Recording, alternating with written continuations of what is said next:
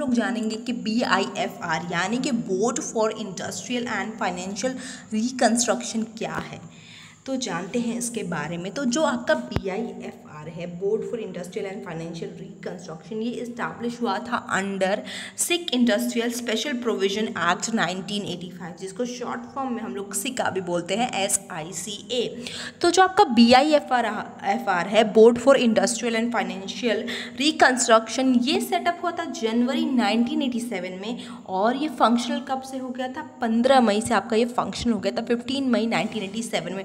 तो आपको ये तीन डेट्स ध्यान में रखनी है कि बी आई एफ़ आर आपका इस्टेब्लिश हुआ था अंडर सिक्का एक्ट कौन आ, कौन सा एक्ट है वो? 1985 का एक्ट है आपका सिक्का। और बी आई एफ़ आर जो हुआ था आपका सेटअप हुआ था जनवरी 1987 में और फंक्शनल कब से हो गया था? 15 मई 1987 से फंक्शनल हो गया था। चलिए और जानते हैं आपका बी आई एफ़ आर के बारे में।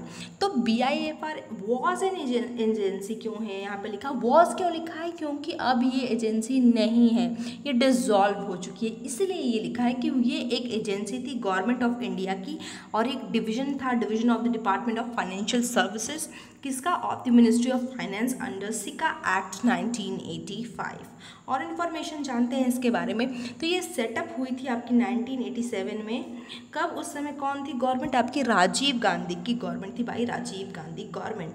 और एक दिसंबर 2016 में जब नरेंद्र मोदी की गवर्नमेंट थी तो Narendra Modi dissolve B I F R board for industrial and financial reconstruction और रेफर कर दिया all its proceeding to N C L T N C L T का आपका फुल फॉर्म क्या है?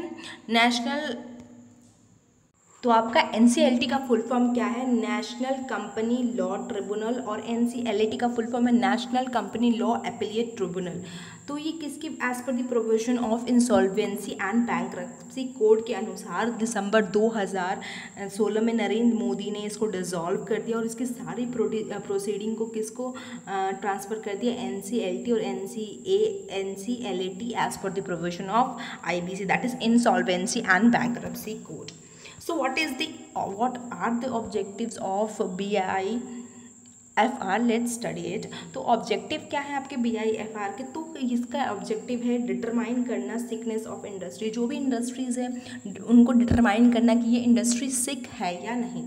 और क्या ऑब्जेक्टिव है बी आई एफ़ आर का? इसका एक ये ऑब्जेक्टिव है कि असिस्टेंट प्रोवाइड करती है हेल्प प्रोवाइड करती है कि जो भी इंडस्ट्री जो रिवाइव हो सकती हैं, फिर से उनमें नई जान डाली जा सकती है। उनको ये रिवाइव करने की कोशिश कर सक, करती है। दैट मे बी वाइबल और उनको शट डाउन कर देगी, जिनको कोई पॉसिबिलिटी नहीं है रिवाइव करने की, उस इंडस्ट्री को ये शट डाउन करने का। काम करती है या कह सकते हैं कि ये बताती है कि असिस्टेंस देती है reviving those those industry that may be viable और शटिंग डाउन अदर्स जो कि वाइबल नहीं है और जो कि सर्वाइव नहीं कर पाएँगी इंडस्ट्री तो ये है BIFR का काम तो ये थे आपके objectives and all the introduction about BIFR. Any doubt, please ask in the comment section. Till then, bye bye. Have a nice day.